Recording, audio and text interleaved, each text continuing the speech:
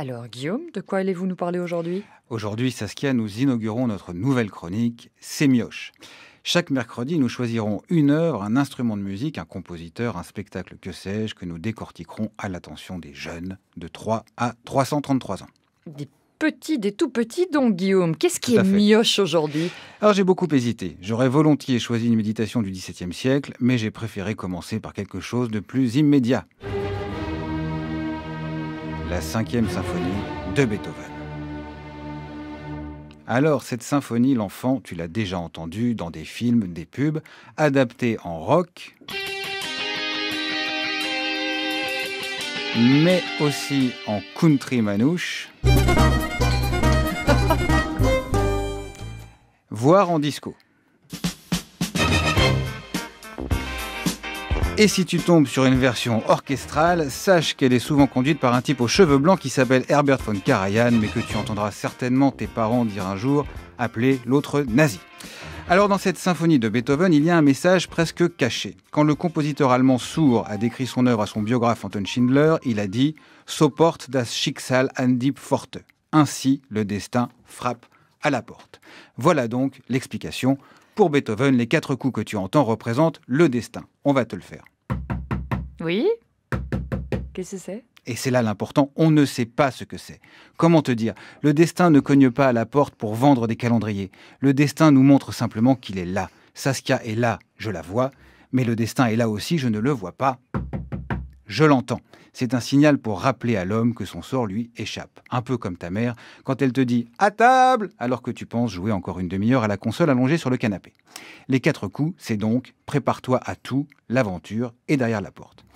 Alors comment Beethoven a-t-il réussi à créer ce sentiment de solennité, de surprise et d'angoisse? Démonstration. Déjà, rythmiquement, il utilise des valeurs opposées, trois croches et une blanche qui peut s'étirer très longtemps puisque Beethoven a ajouté un point d'orgue. L'effet est bancal, il faut s'imaginer un type en parapente qui court et saute dans le vide. Un truc comme ça. Ensuite, harmoniquement, tu entends une association bizarre. Le premier motif est majeur, sol, mi bémol, deux tons. Le second est mineur, Fa, Ré, un ton et demi. C'est un couple singulier majeur-mineur. Si on le fait tourner, on se croirait dans un film d'angoisse.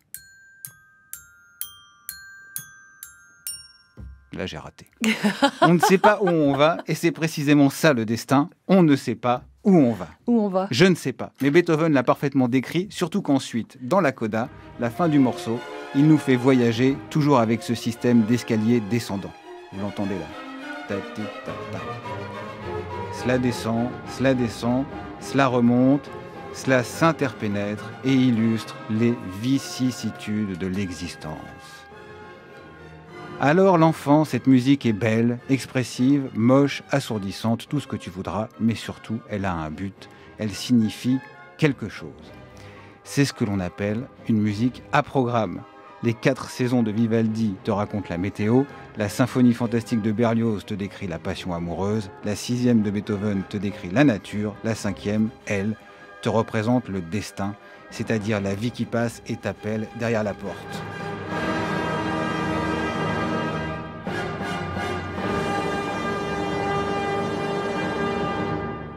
Tout, Guillaume? Non. Il y a aussi une anecdote à propos de cette symphonie. On la trouve dans un film. Alors, l'enfant, un film, c'est comme une série en un épisode avec une fin autonome. un vieux film du siècle dernier, Les mois d'avril sont meurtriers. Dedans, Jean-Pierre Mariel raconte cette histoire. C'est Beethoven qui dit à sa femme de ménage Vous m'inspirez. Et la femme de ménage, gênée, répond Ah, vous me flattez, monsieur Beethoven, je ne suis qu'une pauvre femme de ménage, je ne vois pas comment je pourrais vous inspirer. Beethoven répond Si, si, je vous assure. Et la femme de ménage dit Allons, laissez-moi rire. Ha ha ha ha voilà, c'est tout pour cette semaine. Merci Guillaume. Et je rappelle que vous pouvez réécouter cette chronique sur le site internet de France Musique, visionner la vidéo sur les réseaux sociaux. Chronique réalisée en partenariat avec le quotidien Libération.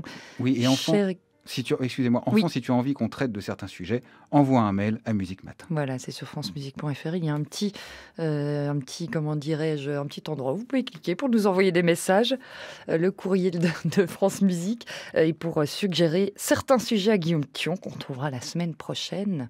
Alors pour rester dans la musique à programme, pourquoi ne diffuserions-nous pas Avril de Tchaïkovski, issu des saisons? Guillaume, le sous-titre est Personnage. Personnage. C'est la lutte entre la fleur et le gel, entre l'hiver et le printemps. Merci Guillaume.